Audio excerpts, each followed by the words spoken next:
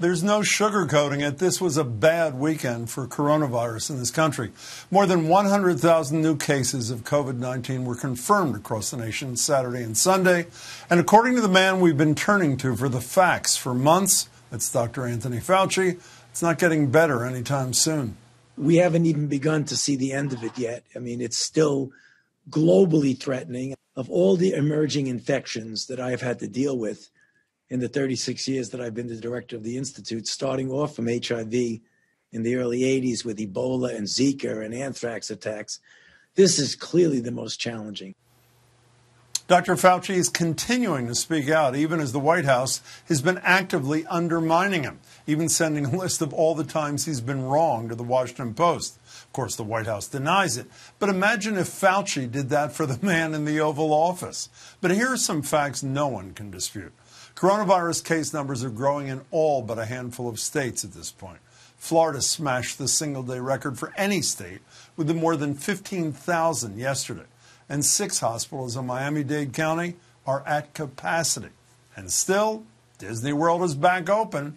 And yes, it's limiting capacity and telling people to wear masks. But you know how they're enforcing that mask rule? You don't get a picture of yourself on a ride if you're not wearing one. Seriously. Maybe that's what got the president finally on board with wearing a mask in public for the first time over the weekend when he visited the Walter Reed Military Hospital, making this comment right before he headed in. I think it's a great thing to wear a mask. I've never been against masks, but I do believe they have a, a time and a place. Yeah, like any time you're around other people so you don't accidentally kill them. Here in Massachusetts, Boston is just entering phase three today of reopenings, with Mayor Marty Walsh standing by his slow pace.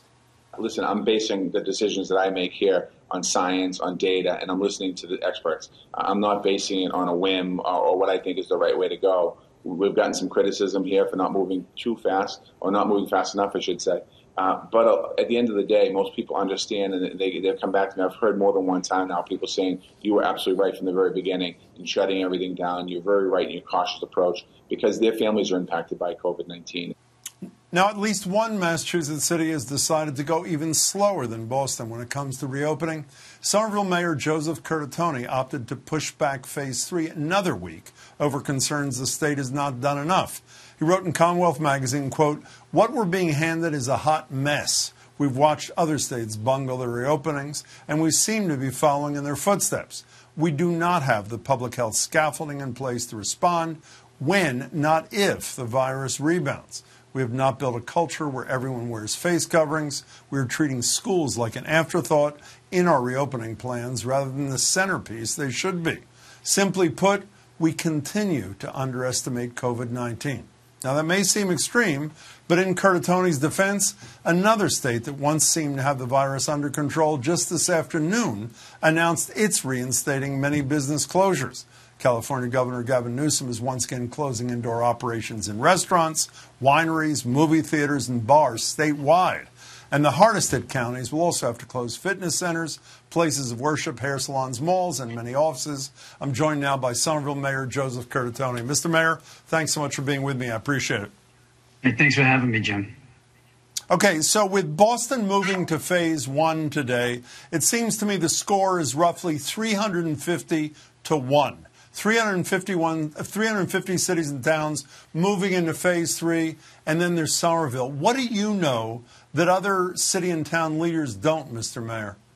Well, first, I would say it's more like 351 cities and towns left to do it on their own. Um, when I mentioned we've been handed a hot mess because, you know, notwithstanding the good work we've done and the governor's administration on flatten out the curve, you know, we don't have a plan uh, around testing, contact tracing, uh, case tracking. Uh, we're not nimble or we're not truly being vigilant in surveying um, what is happening on the ground so that we're prepared to deal, move strategically to intervene when there's an outbreak. What I know is the same that Mayor Walsh knows and so many else knows that this virus isn't going away. Remember at the beginning of all this, a few months back, Jim, when the first cases landed, we heard about some one or two cases in California, and we wondered when will it hit us or if it would hit us. Look what happened over the last four months. Now we see California rolling back 19 counties, and we see the disaster in the southeastern and western part of this nation. We're going to get hit with a resurgence. And the question is, Uh, is it going to be as bad or worse than the first surge? I hope it's not, but we are certainly not prepared to deal with this strategically and surgically to contain an outbreak. And what I know is what the science and health experts are telling us all along that people are continuing to be sick, get sick, and continuing to die. And we're never going to get to the other side of this thing and really bolster up our economy and get back to the normal that we once knew until we all understand that clearly.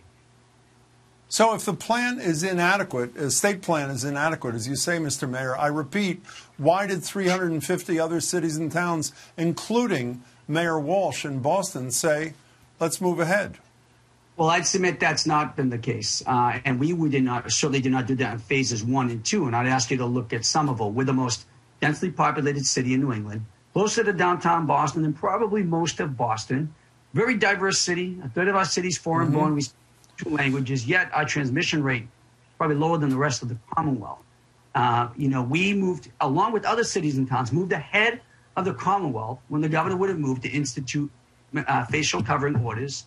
We, along with dozens of municipalities and school districts at the beginning of this crisis, moved to close schools when the governor and the administration said they no, did not want to. In fact, they were reticent on it. And we've instituted other orders, stay at home advisory ahead of the Commonwealth. Now, as they move to reopening, our focus is, is preparing for a resurgence. I'd submit Mayor Walsh is saying the same thing, and that we have two guiding stars ensure the public health, safety, and well being of everyone in our community, and making sure that in any reopening, it is sustainable. Uh, we do not want to go back to what we experienced before, but the danger is we will. So it's not a question. So, what so, Mr. Mayor, what specifically has Charlie Baker not done, quickly if you can, that he should have done in your estimation?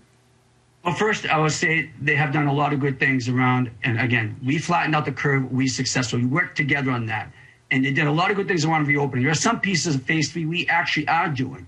But again, you can't have a one size fits all, you know, for every city and town. Uh, I understand why the slow roll, and the governor agreed to the slow roll in Boston. But again, look at where Somerville or Chelsea or Malden or Everett, Revere, Cambridge is situated. This is not a big metropolitan area. We're tightly integrated with one another. So, what I would like to see a more uniform leader uh, approach from the from the governor's administration on having masks worn indoors and outdoors. All the experts are saying we should double down on those efforts now. I wish we did not roll back the contact tracing collaborative. How are we going to understand how this pandemic is changing? We can't flick a switch, as the governor's mentioned. We can hire the people back. We need to know where it is moving, where the resurgence is occurring, so we can contain it. And we are still not anywhere near we need to be in terms of testing in this Commonwealth. Right now, today, I will tell you, Jim, all our efforts in Somerville, and we were the first in the state to start testing asymptomatic people, they're going slower. They're going backwards. And now we're faced with the same situation we were at the beginning a limited supply of testing support materials, reagents, um, swabs, and even kits. That is a concern to all of us right now because celebrating a reopening, and I know people have been cooped up. I want to get out. I want to do things with my family. But our focus should be I'm trying to get the schools open safely so those families can get back to work and truly bolster so our. Is, that, is, is the school is, is your major concern? I want to understand, Mr. Mayor. Is your major concern that allowing indoor activities now is going to jeopardize school openings come the fall? Is that your primary objection here? It's another layer on how we've sort of loosely handled the reopening. Uh, and I submit we are not measuring well, we don't see, and, we, and I submit, we don't have a true real time measure of the impacts of the reopening. When we open, we want to see are there are there spikes, are there outbreaks anywhere? How can we really the positivity truly- rate, as you know, the positivity mm-hmm. rate in testing has been below two percent, according to the governor. Ninety-four percent below what it was in mid-April. That's pretty good progress, isn't it? And we had made good progress. We see that changing right now, and we're only. Te- we know the positivity rate of who we're testing, but testing is now being is slowing down and in terms of its capacity, going back to where it was towards the beginning. How are we going to know the real positivity rate? All the experts say you should multiply that by 10. Okay, and the positivity rate tells you a story of what happened two or three weeks ago. Still, we know this virus is with us. So even if the positivity rate is good and being successful, this is where you I'd submit where you double down on our efforts to make sure, you know what, maybe we can get back to school in a greater capacity than we thought. We can build up our economy better because this is not going away. What's happening in these other states is not going to stay away from us. It's coming our way. Right now, we're in the summer months in Massachusetts. Are there not people from some of these other states down the Cape, along the New England shorelines, and our coastal towns? Uh, I mean, we're, we're touching one another here. So this virus, as one expert said to me, we should take it this way. Assume we all have it until proven otherwise. And we don't have the luxury to be loose and fast and to just throw this on cities and towns, on our individual school districts and say we have to figure it out based on these loose guidelines.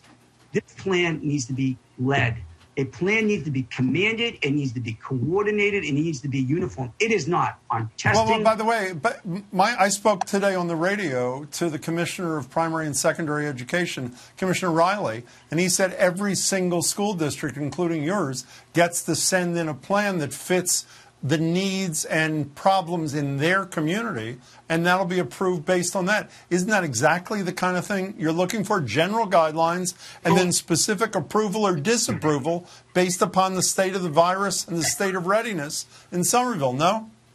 No, we're not looking for individual cities and towns to guarantee their own very form of approach to this. Yes, it is true. We have to, by the end of the month, submit one of three versions. All the kids back in kids back in school right. or some hybrid version. Right. I'd submit hybrid thing, yeah. Will be in some hybrid version because every city and town is different. The other thing they did around schools was to put forth this standard where you can go down as far as three feet social distancing from another person. Yeah. That makes. That makes no sense based on the social distancing we're telling people outdoors to undertake. And then every school district has a varied set of conditions on physical plant of their buildings. My high school, which is under construction, was built in 1895. You know, you can, and not many high schools don't have the filtration systems necessary to keep their students safe. Right. We got to figure it out, and that I submit that is very complex. But just putting forth loose sets of guidelines or guidelines that we can pick and choose from as part of a toolbox is not a plan. It is not Mr. Mayor, I, I, should say to you, uh, you know, in some ways I have sympathy. I'm on the coronavirus. If I were a leader, which thank goodness I am not, I'm a cautious kind of guy. Two, but you are planning to reopen a week from today. Is the plan no, going to be any better in seven days than it is today? What's going to change? Well, actually, let me clarify that we're not reopening on the 20th. We will not open reopen before the 20th in terms of phase three. And like we did in phase one, when we many of the personal service businesses like salons and so forth. And in phase two, restaurants and help them establish their outdoor seating. Likewise, here with those businesses that are mostly indoors that pose a high risk of transmission, fitness clubs, theaters, entertainment venues. We're going to work with those stakeholders. We're going to be diligent and deliberate. We're going to require a site safety plan be submitted. That doesn't mean they're going to open on 20th. And that doesn't mean they'll all open unless they can meet those requirements. This is part of our effort that's kept our transmission rate low. I want you to know I live 10 blocks from Somerville, so stay with it, Mr. Mayor. Thanks very much. I appreciate your time. Thank you.